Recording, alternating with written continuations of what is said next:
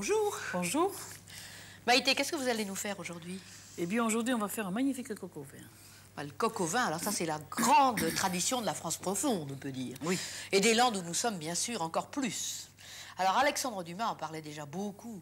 Il raconte le coq au vin dans son grand dictionnaire de cuisine. Les mousquetaires en mangeaient. Mais pour le coq au vin de Maïté, qu'est-ce qu'il faut? Il faut beaucoup de bonnes choses si on a la chance de pouvoir s'en remettre.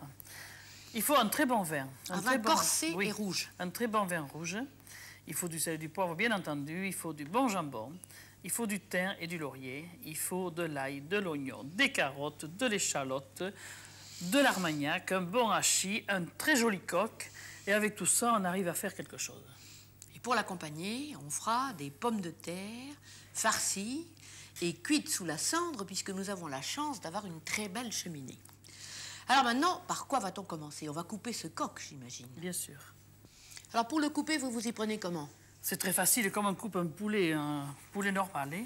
C'est-à-dire que vous commencez par la cuisse. Par la cuisse, toujours, toujours Oui. n'importe oui. Il N'importe quelle volaille, c'est Il pareil. faut surtout un couteau qui coupe. Oui. Voilà. Et après, il y a la jointure. Si on a la chance de l'avoir, c'est un peu dur parce que les coques sont en général un peu vieux. Oh là là. Mais même mon poids, il le faut. hein. Ouais. Pour arriver à lui ouvrir la jambe, là. Voilà. Ça y est. Normalement, on ne doit pas peiner comme ça. hein. C'est parce que c'est moi qui me suis mal prise. hein. Eh ben, très bien, mais Et les après amateurs, ils vont peiner encore plus que vous, alors. il faut mieux apprendre comme ça. Alors là, pareil, on casse.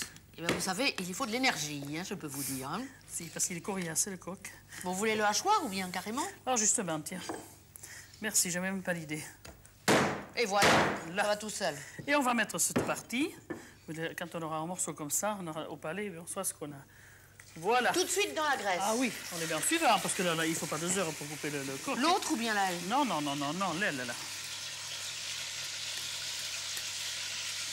On fait venir tout le blanc. Oui. On va prendre les bonnes, les bons... Les bons morceaux, ce qu'on appelle morceaux. dans les livres de cuisine les morceaux nobles. Nobles, voilà. Alors ça, c'est pareil, on va le mettre là. Oui. Vous gardez toute l'aile ou vous non, coupez l'aileron? couper, on va couper l'aileron. Là, voilà, Voilà. ça fait deux morceaux. Ah, vous mettez l'aileron aussi, tout le bout de l'aileron. Ah oui, Ensuite, parce que c'est un bon. vous prenez à l'autre. L'autre, hein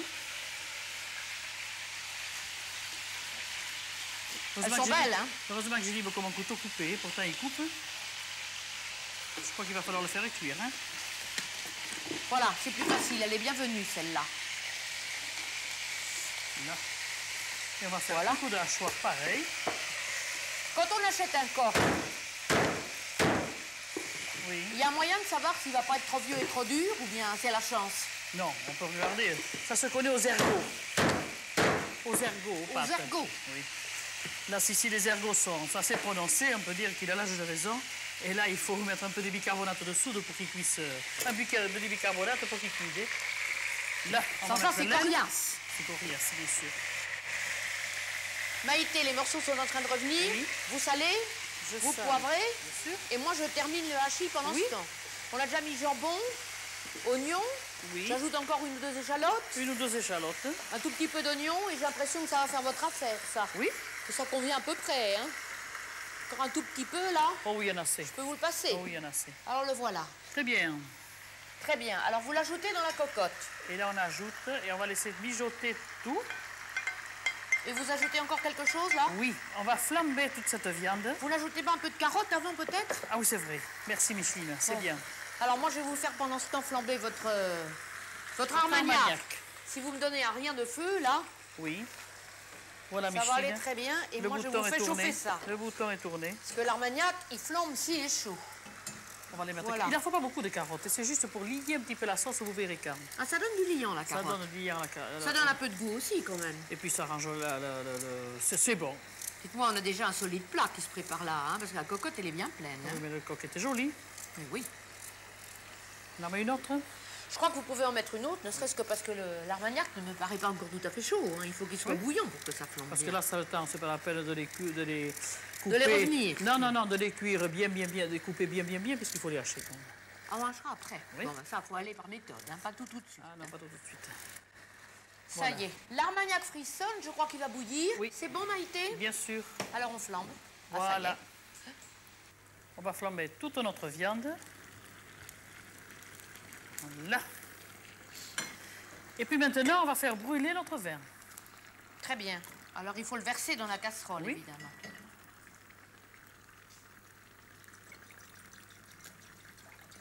Vous en mettez pas mal, hein Combien Il, vous en allez en faut, il mettre faut recouvrir la viande. Deux litres. Oh oui. Deux bons litres C'est de gros, vin. bien Là, nous sûr. avons un Saint-Émilion, un Pomerol, enfin un vin un peu corsé. Ouais, un peu corsé. Et on va le laisser chauffer. Notre vin bout, Oui. Alors On qu'est-ce va- qu'on fait? On le flambe on aussi va le faire brûler. Toujours pareil. Voilà, Ah oui, il flambe. bien sûr. Il faut qu'il boue. S'il boue pas, il va pas flamber. Mais là, s'il boue, on va le laisser bien brûler. Oui. Il faut l'ajouter quand il est seulement quand il a brûlé Oh, déjà pas Un mal. peu pas mal. Même s'il n'est pas tout à fait brûlé, mais il faut l'attendre qu'il brûle un petit peu et qu'il boue bien. Regardez là. Quand vous utilisez un vin rouge en cuisine, vous le faites toujours bouillir Toujours. et toujours flamber. Parce que c'est bon, ça lui enlève l'acidité et il cuit beaucoup plus vite. Ça, c'est le, goût. euh, ça meilleur. voilà, est C'est plus moelleux, Voilà, finalement. Certainement. Alors ça c'est bon à se rappeler. Vin rouge, toujours bouilli, Voilà. toujours brûlé. on mettre. et on l'ajoute. Et on l'ajoute. Et là, il faut recouvrir le coq. Eh ben, il fallait bien les deux litres. Hein. Et bien sûr, il faut recouvrir bon à l'œil. Est-ce que vous y mettez un peu de thym et de laurier ou pas? Maintenant. Quand Là. ça aura été de brûler, bien entendu, mais ça va se brûler les doigts. non, non, non. On va mettre une feuille de laurier. Ça suffit? On va la couper, ça suffit largement. Oui. On va mettre une feuille de laurier, Et du thym, combien deux branches. Voilà. C'est du joli thym C'est frais. du thym frais. C'est quand ça- même beaucoup meilleur que le thym sec. hein. Bien sûr, ça donne plus de parfum. Et voilà. Et on va couvrir. Oui. Et maintenant, on va faire ça toujours comme toutes les sauces au vin en trois fois. C'est-à-dire Un quart d'heure aujourd'hui. un quart d'heure seulement. Un quart d'heure aujourd'hui. On va l'arrêter parce qu'il continue à chauffer, à bouillir. Oui. Un quart d'heure demain, un quart d'heure après-demain et on mange un délicieux coq. Ah oui, donc c'est un plat qu'il faut prévoir plusieurs jours à l'avance. Plusieurs jours à l'avance. Si on veut le donner à sa famille le dimanche, on commence le jeudi, Oh, le jeu. Oh, avant. Le mercredi. le mercredi. Voilà. Eh bien maintenant, on va préparer les pommes de terre. Bien sûr. Comment faites-vous? C'est pas difficile. On prend une jolie pomme de terre. Lavée et non pelée. Oui. On coupe le chapeau. Oui. On prend un petit appareil si on a la chance d'en avoir un. Autrement, c'est avec un couteau qu'on en fait. Oui. Voilà. Et on creuse. Et on creuse. Bien entendu, la pomme Tout de terre est crue. Comme ça, Et se voit. cru, bien sûr. Et on creuse pas tout, on laisse de la pomme de terre quand même, parce que ça serait pas bon. Oui. Voilà, un petit peu plus. Là, ça suffit. Et pendant ce temps, on va mettre notre petit hachis à cuire. À cuire. Parce Vous mettez là- de la graisse ou non? Non, parce que c'est assez gras, le hachis. Un petit poêle chaude, À voilà. cause du jambon qui avait du gras, Oui. il suffit de le faire un petit peu revenir comme ça. Voilà, le faire revenir. On va y mettre un petit peu de poivre, si on veut. Et puis Poivre, temps... pas de sel parce que Non. le jambon est salé le jambon suffisamment est salé. Par contre, Oui. on va saler un petit peu et poivrer notre pomme de terre. Oui. Celle-là, on va la saler un peu et la poivrer. Oui. Voilà. Tout bonnement, tout bêtement. Bon, alors là, c'est vraiment pas très revenu, c'est juste un petit peu Non, c'est bon, chauffé, c'est chaud, chauffer un petit peu. Et on va mettre ceci dans notre pomme de terre. hein. Et après, vous allez voir, c'est tout un truc. Mais c'est délicieux. C'est le même hachis qu'on avait mis dans le coq, c'est-à-dire jambon, Oui. oignon, Mais échalote et ail. Le hachis, c'est toujours la même base, ou à peu près. Voilà. Eh bien, on va mettre tout ça. On va bien fourrer. Attention, c'est chaud, donc vous ne brûlez pas les doigts. Voilà. Ça va, je vous la tiens. Et c'est tout, oui. On va remettre le couvercle, le chapeau. Voilà, vous l'avez On là. va y remettre le chapeau. Allez, j'avais les doigts, et voilà. Remettez-y, parce que c'est pas gâché, ça. hein. Voilà. Bien tassé. On remet, on reconstitue notre euh, oui comme ça. Voilà. Et on met ça dans un papier alu, Dans une papillote. voilà, ou dans une papillote. Seulement là, on l'a roulé. Oui. On ne s'applique pas à faire la papillote bien marrée. On, défait, on, On, emballe bien serré, quoi. on emballe bien serré. Un bon petit paquet bien serré. Voilà. Là. Et, Et, comment vous allez la faire cuire maintenant? Dans les cendres de la cheminée, Dans la cheminée. quand on a la chance d'en avoir une. Voilà, j'y vais. Allez-y. Je la prends comme les cendres. Les braises sont très chaudes. Je prends avec, Avec ma les pincette, pincettes. bien sûr. Et je la mets ici. C'est long hein, à cuire. Quand vous dites c'est long, c'est combien de temps à peu Oh, près c'est bien une heure, une heure et demie Ah oui. de cuisson hein, Pas dans la braise, sur la cendre. sur la cendre. Le coq est cuit. Oui, Mais est-il terminé Pas tout à fait. Qu'est-ce qu'il faut faire encore Maintenant, on va lier ce peu de sauce. Et avec sauce quoi Avec les carottes qui se trouvent dans notre cocotte. Ah, qui ont cuit avec le coq. Qui ont cuit Cuit, avec le coq. recuit Voilà. et re-recuit. Cuit et- Voilà. Et si on a le temps pendant plusieurs jours, comme vous nous l'avez expliqué, Ah, c'est sûr. hein. De toute façon, il faut. il faut. Alors le peu d'oignon, le peu de hachis, le peu de ce qui reste On là-dedans. va le passer à la moulinette et c'est ce qui va servir à lier notre petite sauce. Oui. Voilà. Là. Alors, il y a l'oignon, il y a l'échalote, il y a tout ce qu'on a mis pour faire la sauce. Et puis, c'est tout. Aller-retour. Oui. Et après, on va les mélanger, Pour que ça se mélange à la sauce et ça fera un petit liant. bien quoi. sûr.